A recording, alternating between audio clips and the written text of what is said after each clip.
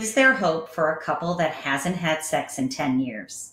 I'm Dr. Trish Leigh, and I am here to tell you yes, there is hope.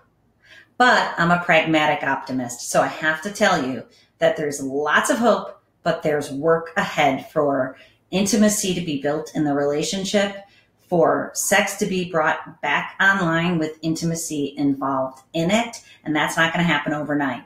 But what can happen quickly is that there can be a shift in your relationship so that there's a little bit more love, a little bit more connection, and that little bit could be a lot more than you've had in a long time.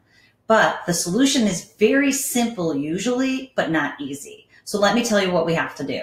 We have to get to the root of why that intimacy isn't happening naturally and why it's so difficult. Many times that involves shame. Sometimes that involves secrets within the relationship. Sometimes it involves trauma that happened a long time ago in childhood that needs to be parsed through. When we do that, building intimacy can happen more naturally. Your relationship can come online, and then that can lead to more relational sex that is better than ever, possibly.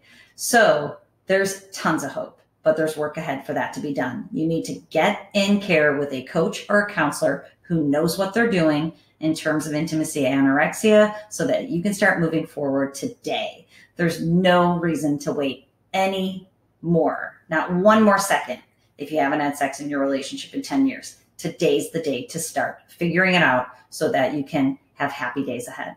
Okay, remember, control your brain or it'll control you.